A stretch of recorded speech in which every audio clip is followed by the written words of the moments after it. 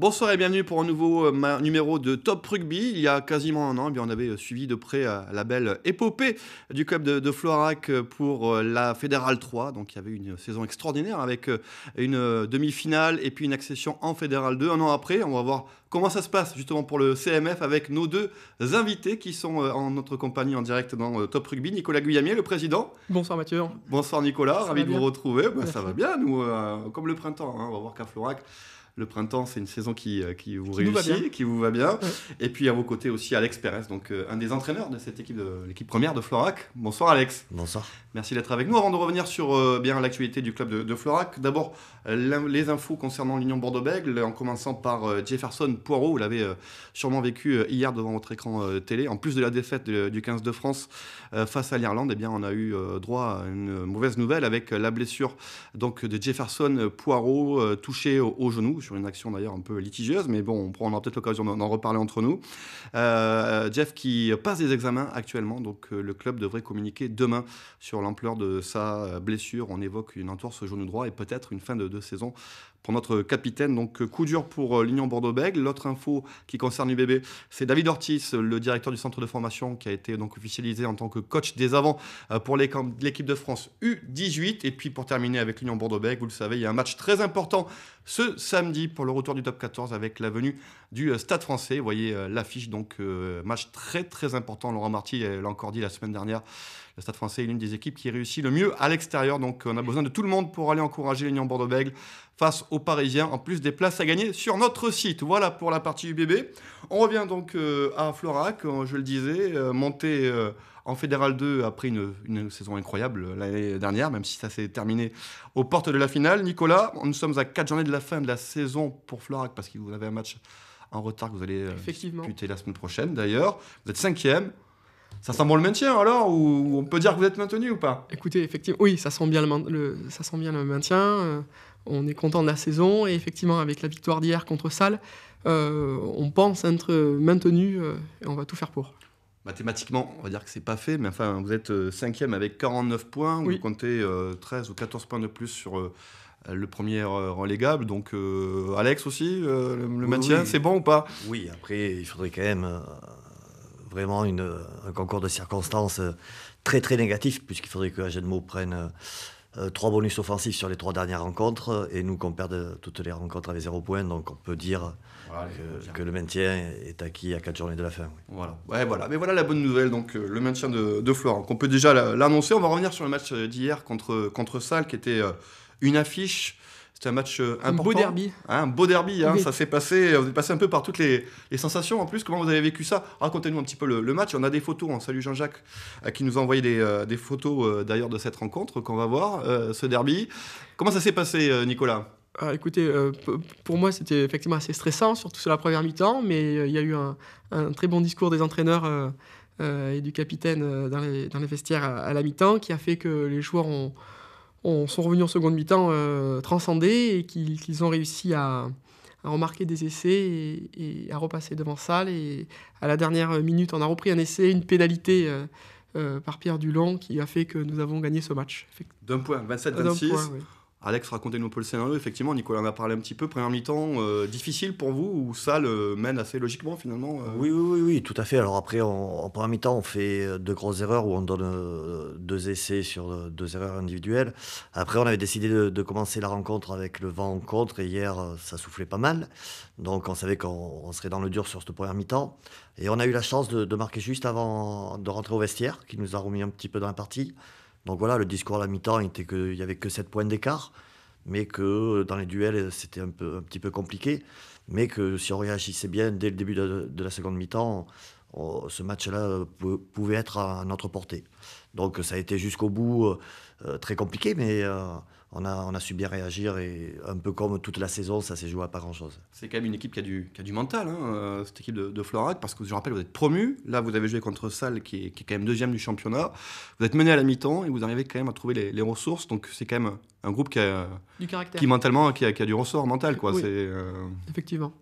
Un point, 27-26. Belle victoire contre, contre Salle. Euh, est-ce qu'on peut dire, Nicolas, que Florac, c'est une équipe de printemps? Parce qu'on se rappelle la saison dernière que vous avez fait une super fin de saison aussi jusqu'à la demi-finale du championnat de France de Fédéral 3. Euh, et puis là, vous enchaînez trois victoires consécutives. Vous êtes une équipe de, printemps? C'est toujours, toujours plus agréable, effectivement, de, de, jouer en, printemps, c'est évident.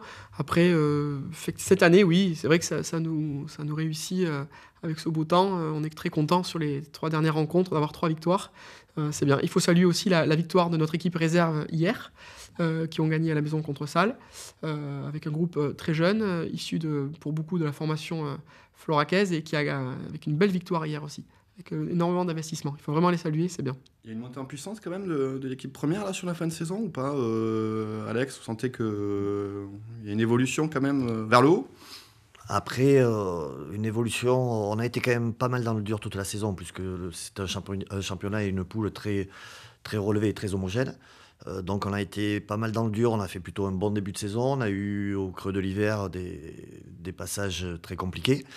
Mais euh, voilà, on est quand même... Euh, hier encore on le voit, on n'est on pas serein, serein, donc... mais, mais ça gagne. Voilà, il y, y, a eu du caractère, y a, ça gagne, mais bon, voilà. C'est le principal. C'est le principal, c'est ça, c'est que ça gagne et qu'on voit donc le classement, vous êtes quand même cinquième, pour en promu, c'est quand même une belle réussite. Nicolas, euh, j'imagine que l'objectif c'était le maintien hein, quand on est promu. Totalement. Donc euh, objectif euh, rempli. C'est quoi la clé du succès? Parce que c'est quand même, il y a toujours quand même un, fossé de niveau. vous arrivez en fédéral 3, donc en fédéral 2 pardon, et vous tout de suite vous imposez en plus à l'extérieur. On va y revenir sur la première journée. Donc vous avez très vite su vous adapter? Je crois que c'est l'envie, le caractère et le travail. nous avons des joueurs, comme on le disait tout à l'heure, qui, ont, qui, ont, qui, ont, du caractère, qui ont du, beaucoup de mental. Euh, et qui avaient envie de jouer en Fédéral 2, qui en ont le, le voilà, qui sont tout simplement euh, contents et qui, qui font que ben, nous avons réussi à, à, à vaincre des, de belles équipes. Hein. Euh, match nul à la maison contre Moléon, avec une très très belle équipe. la victoire d'hier contre Salle, des victoires à l'extérieur, notamment le premier match à Andai, nous ont fait du bien et, et, font que ben, nos joueurs remplissent leur mission au maximum. Ouais, Moléon, c'est un peu l'épouvantail quand même de la poule. Il y a toujours un par poule. Hein. La Moléon, effectivement, qui est une équipe quand même un peu rompue à la Fédérale 1 et qui se retrouve en Fédérale 2. Donc, euh, je voyais 76 points quand même. Moléon, vous avez réussi à, faire un match nul à, la maison quand même. Donc, c'est l'équivalent d'une victoire presque face à une telle équipe. Hein. Oui, surtout à l'époque où on les a joués, là, il, y a, un mois de ça, ou un mois et demi, euh, un peu dans le dur. Et euh, c'est pareil, un scénario où on revient en deuxième mi-temps et le match nul, nous, ça fait du bien dans les têtes. Oui. Alex, où est-ce que vous êtes surpris par le niveau de la Fédérale 2 euh, Bon, vous connaissiez déjà, hein, j'imagine, mais euh, euh, est-ce qu'il y a une grande différence entre la Fédérale 3 et la Fédérale 2 Oui, honnêtement, ça commence, ça commence vraiment à avoir un fossé entre la Fédérale 3 et la Fédérale 2. On voit des équipes très très bien préparées, des très bons joueurs, de la densité physique. oui, il y a réellement un fossé entre la, la 3 et la 2, comme il y a eu à une époque entre la 2 et la 1 qui existe toujours maintenant. Mais voilà, on même sent, dans la une, il y a même des. Voilà, même, à l'intérieur, voilà. Mais euh, voilà, on sent que c'est vraiment un beau championnat. Et euh, voilà, le, resserrement des poules, euh, à moins de clubs, tout ça, ça y fait. Et, on voit que c'est tous les dimanches, c'est des, matchs, des bons matchs de rugby, oui. Vous avez euh, justement euh, changé un peu le projet de jeu, le style de jeu où Il y a plus de préparation physique pour euh, s'adapter Malheureusement, alors après, c'est toujours très très compliqué à gérer à ces niveaux-là, puisque les joueurs travaillent, donc on essaye à faire les choses au mieux, comme tous les staffs. Mais bon, après, il y a les contraintes des, des joueurs amateurs aussi. Donc on essaye de faire au, mieux, mais on, on, a essayé de rester sur nos, nos idées qui avaient marché l'année dernière. Mais bon, on voit que quand on monte aussi, c'est compliqué. Donc, euh, il a fallu faire un peu de réajustement aussi à certains moments de la saison. Mais, mais voilà, on s'en est plutôt pas trop mal sorti.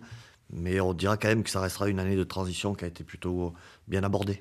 Oui, bah, Nicolas soulignait le travail des, euh, des, euh, des, coachs, des, des, joueurs, mais les dirigeants aussi, ils ont, ils ont bossé ah en coulisses. Hein. tout le monde a bossé, c'est vraiment le, la réussite de tout un club. Est-ce que vous préparez déjà la saison prochaine? Parce que souvent c'est dur de confirmer aussi. Donc euh, est-ce que vous craignez pas peut-être la saison prochaine euh, Est-ce que déjà elle est dans les têtes Est-ce que vous la préparez déjà en termes de recrutement, de partenaires En termes de partenaires, nous avons une grosse soirée qui se fait le samedi 30 mars au domaine de Conseillant.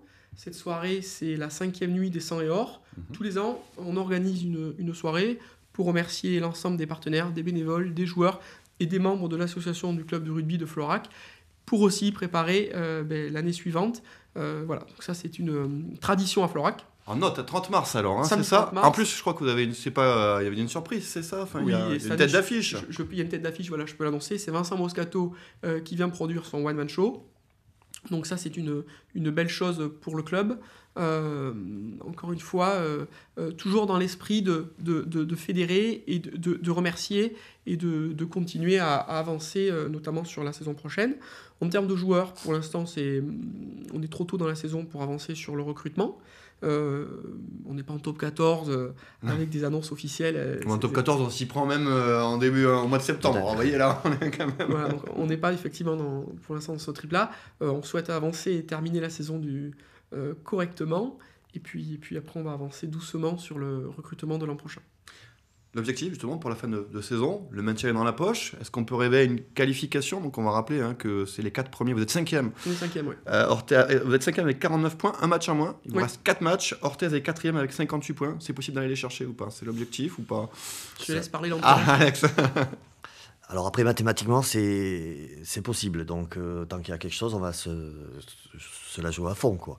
Après, on sait que Orthez a un bon calendrier quand même, puisque le prochain match, ils reçoivent les derniers. Mais euh, voilà, de toute façon, le, le match à Rotterdam de dimanche prochain va nous donner la suite et la fin de la saison, puisque si on, si on fait quelque chose à Ramitz, on pourra jouer quand même la quatrième place jusqu'au bout. Et si c'est fini, après, on, on jouera le ventre mou sur la fin de saison. Ouais, il y a deux déplacements. Un déplacement à Ramitz, match en retard, et puis déplacement à Lormont. Petit Lormont. derby encore, il y a quelques derbys sympas. Surtout qu'au match aller, ça va être un peu serré euh, on, contre nos on amis aura eu de des Lormont. derbys cette année, ouais. qui eux par contre sont un peu plus euh, bas dans le, le classement, donc ils auront besoin de points aussi, ça risque d'être euh, assez chaud. Euh, ce match, est-ce qu'il y a eu beaucoup de changements à l'intersaison justement Euh, On parlait des joueurs, du recrutement, euh, vous avez gar- gar- gardé une ossature principalement de, de joueurs de, de Fédéral 3 et même issus du formés au club peut-être? Ça a été le cas cette année, effectivement. Oui, oui, oui. On a, après, on a eu des, certaines recrues. Euh, Guillaume Devade qui nous a rejoint de Dax, Maxime Le Boris Mhm. qui nous a rejoint de Vannes, euh, David Educa qui nous a rejoint de, de Langon, qui est un ex-joueur du SA15. Euh, nous avons effectivement, oui, on a, il y a eu Rudy Rescala qui est un pilier. Nous avons fait, oui, recruté. À chaque fois, toujours dans, la même, dans, la dans le même périmètre, c'est trouver un travail à ces joueurs euh, pour leur permettre de venir jouer dans un club de fédéral. Et ce sont des joueurs qui sont en fin de carrière. et qui s'éclatent donc euh, à Florac. Un dernier mot, euh, Nicolas, sur la formation. On en parlait euh, justement à l'école de rugby, comment elle se porte à Florac? Alors l'école de rugby se porte très bien et cette année on a plus de joueurs issus de la formation que l'an dernier en Fédéral 3. Donc ça c'est quand même très bien. Alexandre plus fait jouer ses joueurs. Donc c'est super. Ce sont des, des- voilà, des jeunes issus de la formation qui sont arrivés et qui, qui- qui jouent à Florac euh, tous les week-ends. Et qui sont totalement investis et qui ont le sourire et, et- et- et qui font du bien au groupe. Eh ben, c'est ça, c'est pour ça qu'on vous aime bien euh, aussi sur, euh, sur TV7, euh, ce club de- du CMF qu'on connaît bien et qu'on a suivi la saison dernière. Donc bravo déjà pour cette saison, bravo. N'oubliez pas le 30 mars, donc notez bien sur votre agenda la soirée sans et hors, donc avec Vincent Moscato. Plus d'infos sur le site du club. Merci à tous les deux, hein, bonne continuation pour la, fin de saison. Merci. Et nous on se retrouve lundi prochain pour un nouveau numéro de Top Rugby.